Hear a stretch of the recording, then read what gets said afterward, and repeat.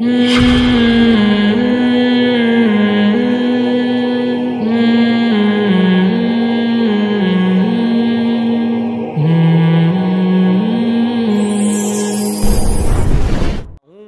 हमें भी अपने बारे में गौर करना चाहिए, दाएँ बाएँ झांकना चाहिए कि यार ऐसा तो नहीं कि हमारे अंदर फला बुराई कल्चर की वजह से आई हो।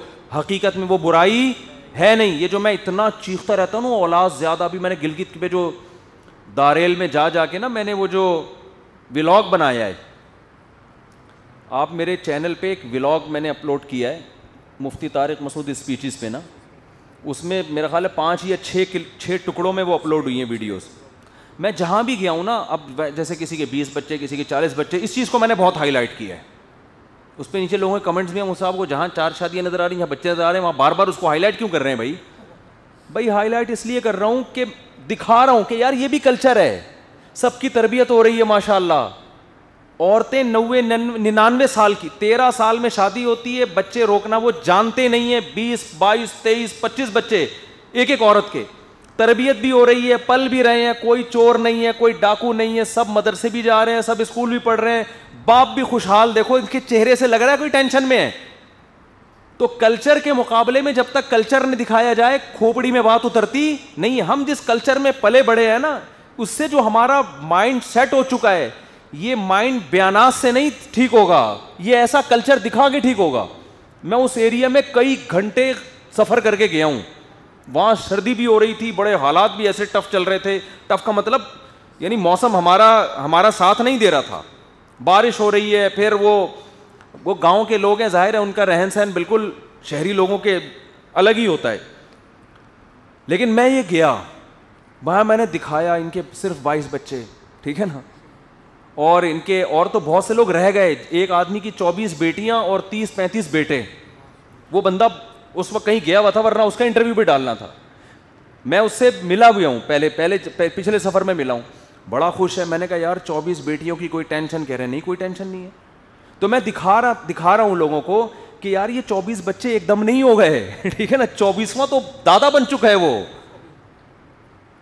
अब क्या है? फैमिली प्लानिंग ने ना एक जहन बना बना के टेलीविज़न पे एडवर्टाइज चल रहा है और दो बच्चे ही अच्छे और फिर औरतों की अगर दो तीन हो जाएँ तो माएँ अपनी बेटियों को ताने देना शुरू करती हैं। तुझे क्या हो गया? पड़ोसने पूछ रही होती हैं, स्कूल में क्लास फेलोज पूछ रही होती हैं यूनिवर्सिटियों में, तुम पागल हो, तुम सेहत का ख्याल नहीं। ऐसा दिमाग खराब हो गया है कि जो चीज़ दुनिया की सबसे बड़ी नेमत थी, उसी को लोग सबसे बड़ा अजाब समझ रहे हैं। आप अंदाज़ा लगाओ, कुरान क्या कह रहा है? नू सलाम, शोएब सलाम अपनी कौम को समझा रहे हैं कि तुम अल्लाह की इतात करो, अल्लाह तुम्हें कसरत से औलाद देगा। आज आप किसी को बताओ कि यार तुम नेक बन जाओ, अल्लाह तुम्हें बहुत औलाद देगा। तो कहेगा, यार, ये तो मैं बचना चाह रहा हूँ, ये तो औलाद तो टेंशन है। कि बिल्कुल नेचर के उलट काम हो गया कि नहीं हो गया? लोग मुझे कहते हैं, आप बार बार शो क्यों मारते हो मेरे इतने बच्चे, मेरे इतने जितने हैं, बस घर में रखो आराम से, बता क्यों रहे हो? मुझे भी कहते हैं ना। मैं कहता हूँ, मैं, मैंने जब मेरा जहन बना था दो शादियाँ और ज़्यादा औलाद का, उस वक्त लोग मेरी इस बात को मानते नहीं थे। कि भाई तुम कैसे मैनेज करोगे, कैसे रखोगे, क्या होगा? तुम टेंशन में, तुम डिप्रेशन में चले जाओगे। जो मेरे उस वक्त के दोस्त हैं ना, जब मेरी शादी भी नहीं हुई थी तो आज मैं उनको बताता हूँ, यार इतने माशाल्लाह खुश। अल्लाह अल्लाह और खुशियाँ दे, नज़र बस से बचाए। देखो यार, मैं तो फल, आपके सामने बैठा हूँ, ना दीन के काम में कोई कमी हुई, जितना काम पहले कर रहा था उससे ज़्यादा ही कर रहा हूँ। ना टीचिंग छूटी, ना कारोबार छूटा, ना कुछ भी, न बल्कि बढ़ ही रहा है हमेशा। वजह क्या है कि ये चीज़ें, ये नेचुरल हैं, ये इंसान को डिप्रेशन में नहीं लेके जाती, ये डिप्रेशन से निकालने वाली चीज़ें हैं। समझ में आ रही बात? डिप्रेशन में वो जाता है जिसके पास ये होता नहीं है। आपके लिए आपकी औलाद से बढ़कर कोई चीज़ ऐसी नहीं है जो आपको डिप्रेशन से निकाले। अल्लाह का फजल है नेमत के तौर पे बयान कर रहा हूँ, अल्लाह नज़र बस से बचाए, शो मारना मकसद नहीं है। मोटिवेट करने के लिए अपनी मिसालें देनी पड़ती हैं। हम तो जब घर में घुसते हैं, हमें समझ में नहीं आता कौन सा बच्चा ज़्यादा प्यार है, कौन सा उससे ज़्यादा है। ये तो इंसान को ना समझ में नहीं आता कि यार उसकी बातें अलग हैं, उसकी बातें अलग हैं। बच्चा बड़ा होता है तो बाप को उससे अलग किस्म की मोहब्बत पैदा होती है। बेटे जैसे जैसे बलूगत की दहली इस पर कदम रखते हैं, अल्लाह की कसम, वो मोहब्बत का रुख चेंज हो जाता है। इंसान कहता है, ये मेरा बाजू है, ये मेरे लिए लड़ेगा, ये मुझे कमा के देगा। इसे मेरी इज़्ज़त पे खुशी होगी। सारी नेमतें खानदानी मनसूबाबंदी वालों ने हमसे छीन ली हैं। औलाद की नेमत से भी महरूम कर दिया, औरतों को भी। औरत के लिए अल्लाह की कसम सबसे बड़ा सरमाया उसकी औलाद है। औरत के लिए माँ से बड़ा कोई लकब है ही नहीं। तो उसको ऐसा एडवर्टाइजमेंट दिखाया ना कि जो देखो ये ये लड़कियाँ, इनकी औलादे नहीं, कैसी हँसी को ज़िंदगी गुजार रही हैं। भाई, इनकी दो चार साल बाद हालत देखना क्या होगी? ये भी यंग है, जवान है। थोड़े दिनों बाद इनको कोई लिफ्ट नहीं कराएगा। औरत पे तो बहुत जल्दी बुढ़ापा आता है। तो वो एडवर्टाइज में देख रही हैं और वो लड़कियों को देख रही हैं, यंग, बिल्कुल खूबसूरत, देखो बच्चों की टेंशन नहीं है। और कैसी हँसी खुशी ज़िंदगी, भाई ये हँसी खुशी ज़िंदगी थोड़े दिनों में तेल होने वाली है। अल्लाह ने औरत का सिस्टम ऐसा बनाया है कि वो बहुत जल्दी औरतें ये बात सुन के गुस्सा करती हैं, मेरे ऊपर यश कैसी बातें कर, हम जल्दी बूढ़े हो जाते हैं। भाई ये ग्राउंड रियलिटी है। मर्द 40 साल के बाद भी आदमी लग रहा होता है। आप अपने बचपन की वीडियो देखो 20 साल 18 साल वाली, और जब आप 40 साल के हो जाए वो देखो। मैं हल्फिया कह सकता हूँ, आपको अपनी 40 साल वाली शक्ल 18 साल वाली से ज़्यादा अच्छी लगेगी। आपको लगे, अब आदमी लग रहा हूँ मैं यार। उस वक्त तो लौंडा लपाड़ा सा लग रहा था मैं। लेकिन खातन का मामला इसके उलट है। बिल्कुल उलट है। तो एक ग्राउंड रियलिटी है, अल्लाह का एक निज़ाम है। आप इस निज़ाम से लड़ रहे हो और किन कमबख्तों के कहने पर, जिनका अपना कोई ख़ानदानी निज़ाम है ही नहीं। सेहत भी अच्छी है, जिन औरतों, मैंने वहाँ इंटरव्यू लिया ना। एक औरत के 18 एक के 20 बच्चे यंग हैं वो लोग बताते हैं कि यहाँ औरतें यंग रहती हैं। और यहाँ देख लो अपने शहरों में देख लो। नेचर थोड़ी इंसान के साथ कभी गलत करती है। ये तो नेचुरल है ना औलाद होना। इससे खुश भी रहती हैं औरतें। बच, बच्चों के लिए तो औरत लड़ती है उसके लिए। खैर तो मैंने वहाँ जाके व्लॉग बना के मैं ये मेरा मैसेज ही यही है। तो लोग कह रहे हैं बार बार क्यों लेकर आया? अबे इसलिए तो मैं गया हूँ वहाँ पे। मैं तुम्हें चश्मे दिखाने थोड़ी गया हूँ। ये तो तुम नेट पे सर्च करो गिलगित के शाहराहें और चश्मे इससे ज़्यादा अच्छी आ जाएँगी। हम तो जब व्लॉग बनाते हैं तो कोई पैगाम देने के लिए, और मैंने पहले लोगों से कहा था, मैं जाऊँगा और मैं इंटरव्यू लूँगा। पूरे इंटरव्यू हुए नहीं।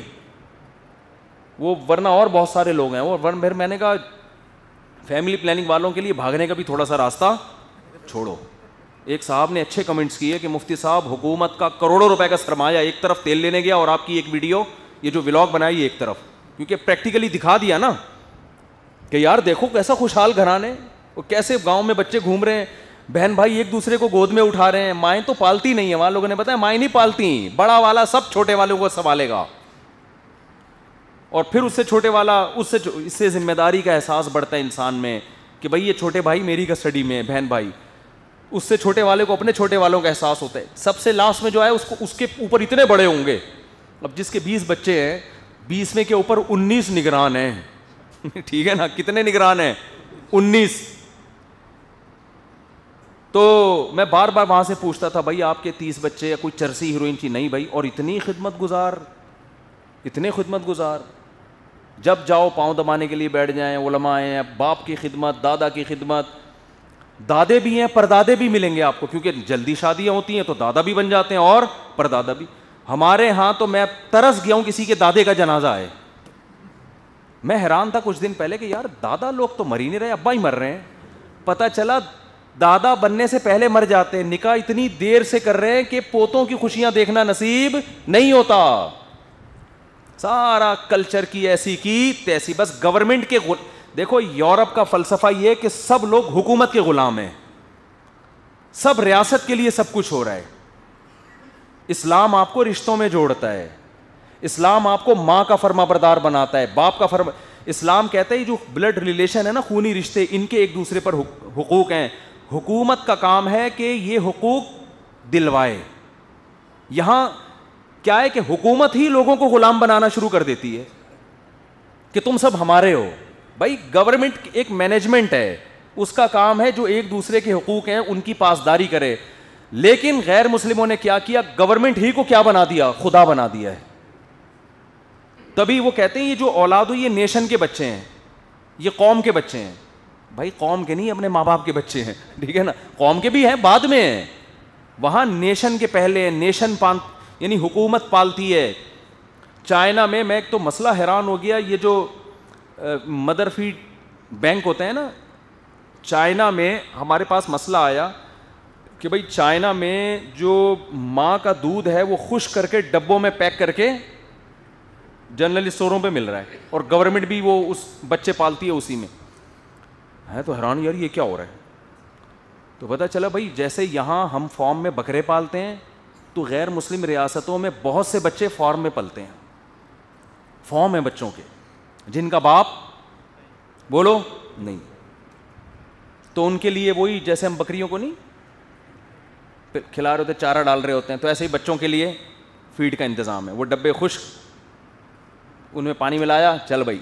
ठीक है नेक्स्ट ये कौन सा तरीका है यार बच्चे के पलने का? बच्चा माँ बाप की गोद में जिस तरह पलता है, ईदी सेंटर में इस तरह नहीं पलता। ये नेचुरल है, ये खुदा के निज़ाम से बगावत मत करो। तो कहाँ से कहाँ बात चली गई? मैं क्या कह रहा था, ये बात इधर किधर से आ गई है किधर से आ गई? और आखिरत का तो अलग मामला है। आखिरत में तो और ये औलाद आपके फ़ख्र का ज़रिया बनेगी, दीन का काम करेगी, वो आपकी तरक्की का ज़रिया बनेगी, सदक़ जारिया बनेगी, वो अलग है। तो क्या बात चल रही थी ये इधर किधर से आ गई? तो मैं ये अर्ज़ कर रहा था, हैं? हाँ कल्चर की बात कर रहा था तो कल्चर ने दिमाग ख़राब कर दिया ना, एक बदी ही चीज़ को अब हमें दलाइल से समझाना पड़ रहा है। भाई, एक बदी चीज़ हम घंटों दलाइल दलाइल से अपनी मिसालें दे दे के, मुझे तो इतना कॉन्फिडेंस था, अल्लाह का शुक्र है मैंने इस पर अमल किया, आपके सामने अल्लाह का फजल से हंसता खेलता, ज़िंदा। वरना आप किसी को बताओ उसके चौदह बच्चे हो तो भाई तो पागल टेंशन से ही मर जाएगा। ऐसा नहीं है भाई। तो अल्लाह बचा के ही रखे टेंशनों से, अल्लाह की मदद है, हमारा कमाल नहीं है ये। तो कल्चर इंसान की खोपड़ी क्या कर देता है? ख़राब। कल्चर में है चर्बी नहीं खाना। कुकिंग ऑयल खाना है। खोपड़ी ख़राब।